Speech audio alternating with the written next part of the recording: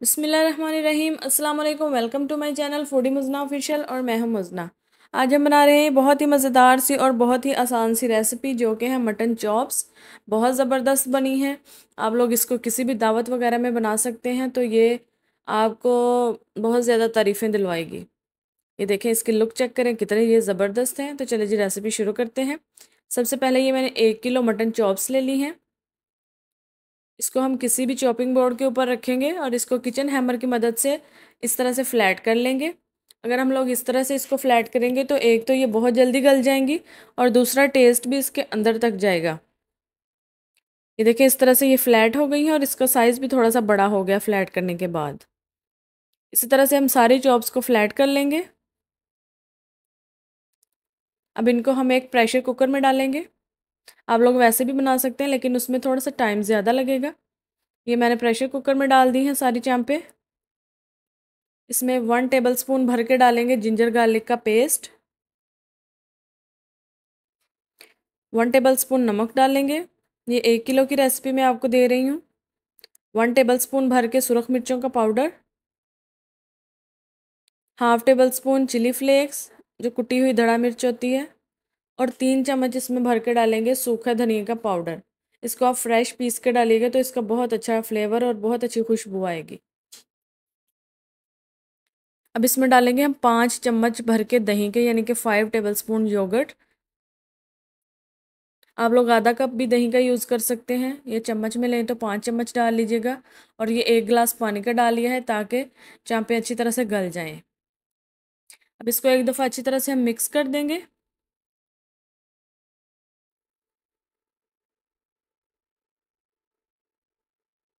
ये इसको अच्छी तरह से मैंने मिक्स कर दिया। अब हम इसको वेट लगाएँगे, यानी कि कुकर में इसको पकाएँगे प्रेशर लगाने के बाद।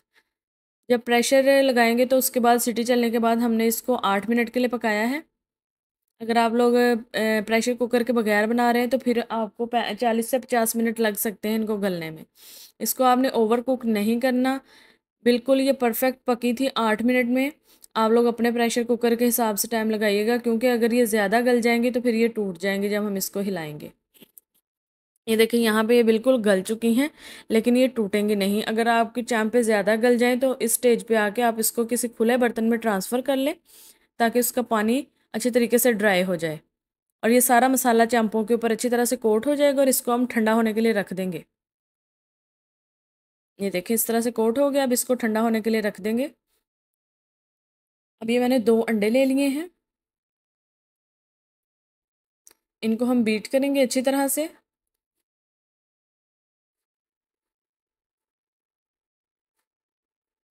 ये अंडे का थोड़ा सा शेल आ गया है इसके अंदर, उसको हम निकाल देंगे। आप लोग भी ध्यान से यूज़ किया करें। ये इसको हम दो से तीन मिनट के लिए अच्छी तरह से बीट करेंगे ताकि ये फ्लफ़ी सा हो जाए और अच्छी तरह से कोट हो जाए। अब ये एक प्लेट में हम ब्रेड क्रम्स ले लेंगे।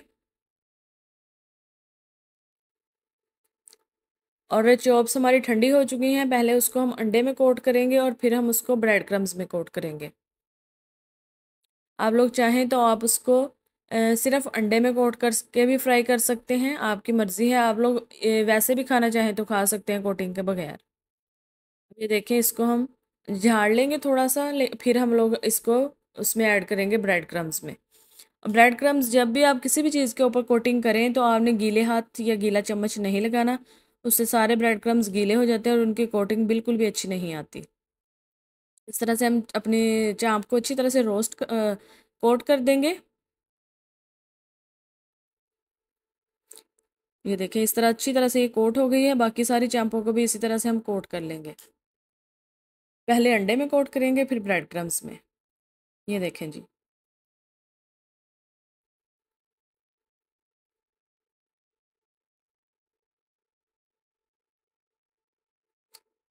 तब तक के लिए आप चैनल को सब्सक्राइब कर लें और वीडियो का लाइक और शेयर कर दें। और बेल नोटिफिकेशन ज़रूर ऑन किया करें ताकि आपको हर नोटिफिकेशन मिल जाए। ये मैंने एक तवा लिया है, आप लोग चाहें तो इसको डीप फ्राई भी कर सकते हैं या किसी पैन में भी फ्राई कर सकते हैं, लेकिन तवे पे ऑयल बहुत कम यूज़ होता है। ये देखिए, इस तरह से हम चांपों को फ्राई करेंगे। आप किसी कढ़ाई में इसको काफ़ी ज़्यादा ऑयल में, जैसे हम पकोड़े वगैरह बनाते हैं, वैसे फ्राई कर सकते हैं। लेकिन हम लोग कोशिश करेंगे कि हम कम से कम ऑयल में इसको बनाएँ। और तवा जब एक दफ़ा गर्म हो जाए तो फिर आपने उसकी फ्लेम बिल्कुल लो कर देनी है। ये देखें जी चैम्पों को हमने सारी चैम्पें एक दफ़ा में ही आ जाएँगी। इतनी ज़्यादा स्पेस है इसके ऊपर। अब हम इसको दो मिनट एक से दो मिनट के लिए एक साइड से फ्राई करेंगे बिल्कुल हल्की आग पे ताकि अच्छा सा गोल्डन कलर आ जाए। ये देखें गोल्डन कलर आ चुका है। अब इनकी साइड चेंज कर देंगे हम ताकि दूसरी साइड पे भी अच्छा सा गोल्डन कलर आ जाए।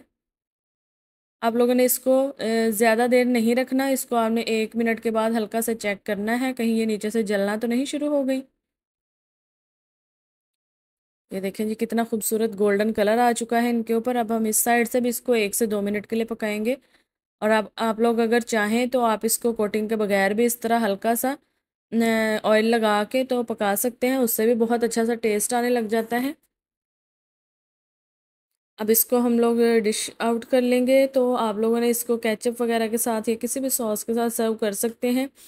कोई भी आपके घर में दावत हो स्पेशल तो आप लोग ये बना सकते हैं, बहुत ही इजी रेसिपी है और बहुत ज़बरदस्त बनती हैं। और सबको पसंद भी आ जाती हैं इवन के बच्चे भी इसको बहुत शौक से खा लेते हैं। तो चलो मैं आऊँगी एक अच्छी सी नई वीडियो के साथ। आप लोगों ने इस रेसिपी को ज़रूर ट्राई करना है और मुझे फ़ीडबैक भी ज़रूर देना है। तब तक के लिए दुआ में याद रखिएगा। अल्लाह हाफिज़।